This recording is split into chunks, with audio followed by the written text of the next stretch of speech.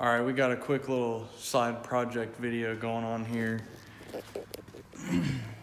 this is my uh, old dump tube that came on the car and I made it into a hood dump if you guys hadn't seen and then I just wrapped it in um, exhaust exhaust wrap so I finally have came across this stainless piece that I'm going to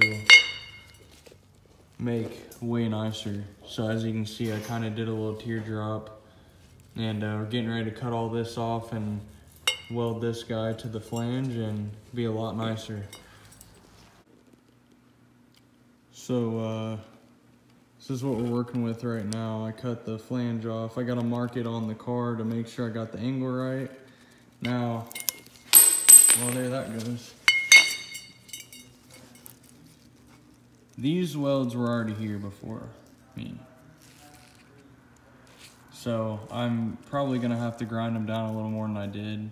So you can't blame me for those. You can blame me for the new ones, but you can't blame me for those ones.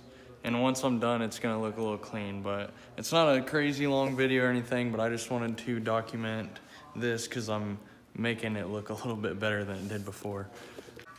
All right, I've got this thing all marked here. Kind of hard to one-handed film. Got the angle and everything right. I'm gonna tack it in and make sure it fits on the car.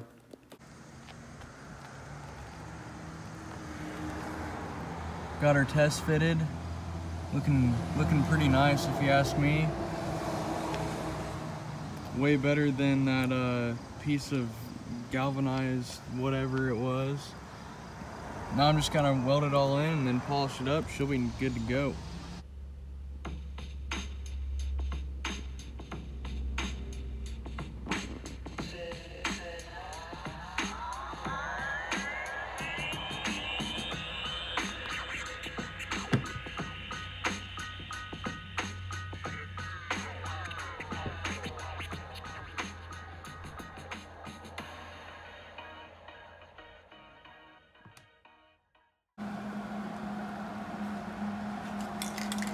See, not the best welds ever, but they work. I'm just gonna paint the base black and then I'm gonna polish the end here so it's gonna look pretty nice once, once she's all done.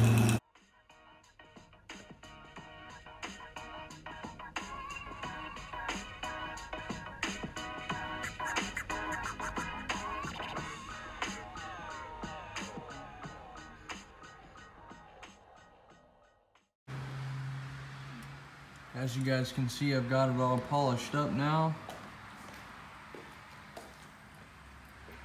Fitment's pretty good. Hood clearance is like perfect. It like it like barely touches it when it closes. Let's see here.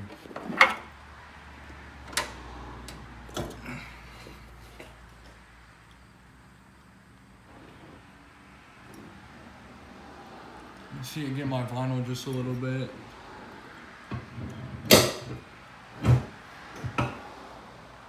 There we go. Still sticks up just a little bit. But you know, we kind of kind of have a little flare on there. It fits in the middle of the cuts a little bit better than it did before.